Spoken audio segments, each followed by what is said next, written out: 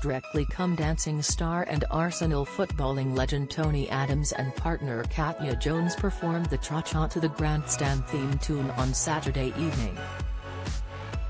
Despite all odds and viewers' verdicts, Tony made it through to yet another week in the competition and seems to be getting entertainment votes from the public. However, it has been reported that Tony has allegedly broken BBC advertising rules by wearing his own clothing brand to rehearsals whilst being filmed. After their entertaining the judges with his performance, Tony and Katya received a score of 19 out of a possible 40 and managed to swerve the dreaded dance off. However, during the VT that showed the dancing duo's grueling rehearsals, Tony was seen wearing a blue-collared shirt and a white round-neck t-shirt from his clothing brand, which he launched in 2019.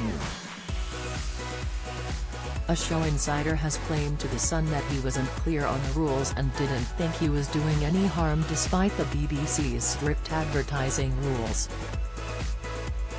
He was just dancing in clothes he feels comfortable in, which just happened to be part of his collection. Strictly bosses are going to have a word with him and ensure he's in line with their rules for this weekend's show, they expressed. For years the BBC's website has stated that all advertising must be clearly presented as commercial content, distinct from editorial content. The nature of an advertising relationship must be transparent so that it is clear to the audience that they are seeing a commercial message. Surreptitious or subliminal advertising is prohibited, it outlines. The logo which was picked up is a silhouette of himself celebrating during Arsenal's victory over Everton in 1998. Express.co.uk contacted the BBC which declined to provide an official comment. Receiving his comments from the judges on Saturday night, Craig Revel Horwood expressed, well, that reminded me of a scene from Death Becomes Me. I don't know how to describe what I have just seen apart from you putting everything into it. Motsi Mabuse was crying with laughter before she said, Tony. Honestly, every year I say, I've never seen anything like this and then another year comes and I see a cha-cha like that. Shirley Ballas commented, I am speechless.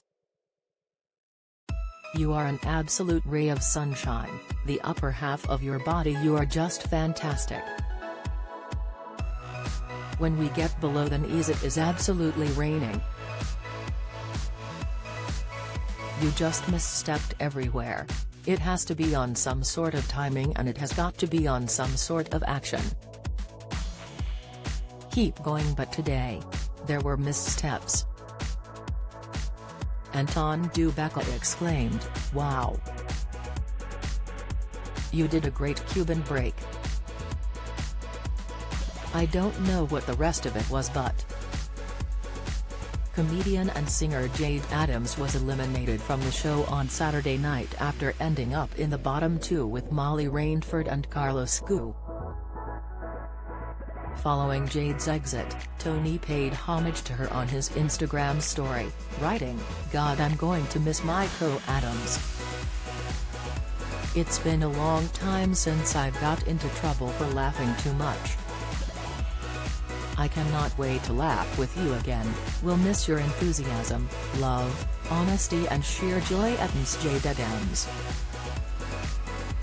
According to bookmakers William Hill, Tony's odds of being eliminated from the show on Sunday night stand at 6-1. Strictly Come Dancing airs Saturday from 6.30 pm on BBC One, followed by the results on Sunday.